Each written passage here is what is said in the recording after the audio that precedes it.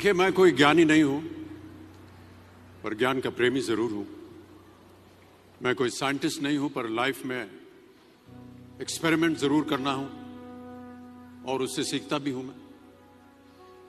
मेरे विचार एप्रीहेंशन से नहीं ऑब्जर्वेशन से बनते। शिक्षा का महत्व मैंने बचपन से ही देखा है। मेरे माता पिता का मानना था कि ज्ञान वो इन्वेस्टमेंट है जिसका डिविडेंड यानी मुनाफा जीवन के अंत तक मिलता रहता।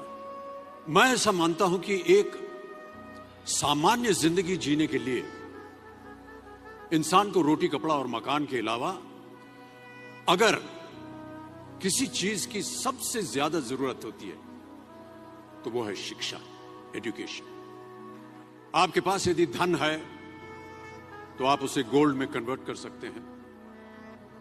धन हो या सोना, दोनों के कम होने का या खो जाने का डर हो सकता है।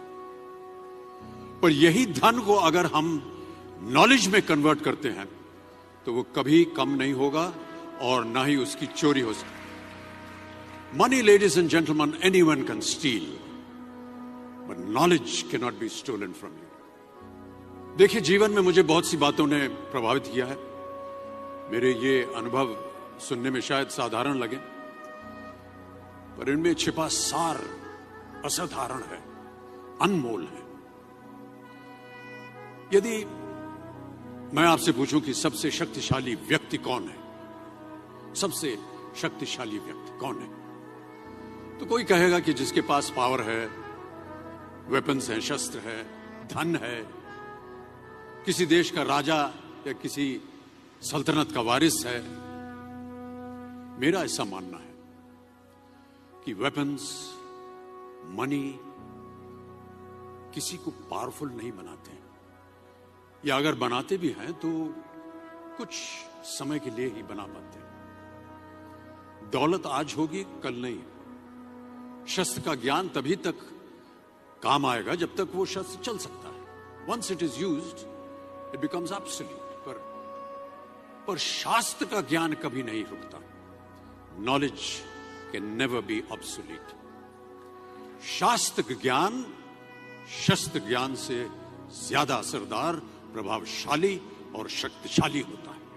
अब देखिए, एक राजा ने कितने राज्यों पर विजय प्राप्त की कौन कौन से शस्त्रों का इस्तेमाल किया, कितने सैनिक थे, ये शायद आपको याद न हो। पर ज़ीरो की खोज किसने की? बल्ब का आविष्कार किसने किया?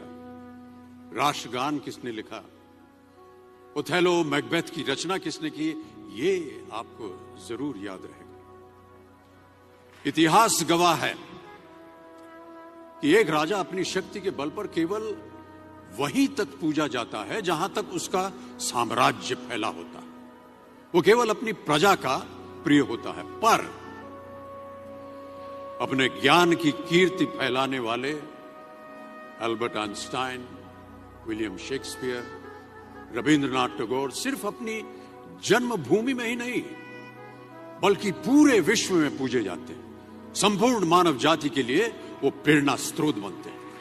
इसलिए आप सबसे मेरा आग्रह यही है कि सीखते रहिए। ज्ञान का धनी व्यक्ति हमेशा ही सम्मान और आदर योग्य होता है, क्योंकि ज्ञान, वो कवच है, वो शील्ड है, जो आपके जीवन में आने वाली कठिनाइयों से आपकी रक्षा करेगा। फिर किसी भी शस्त्र की आपको आवश्यकता नहीं होगी। Never stop learning because learning never stops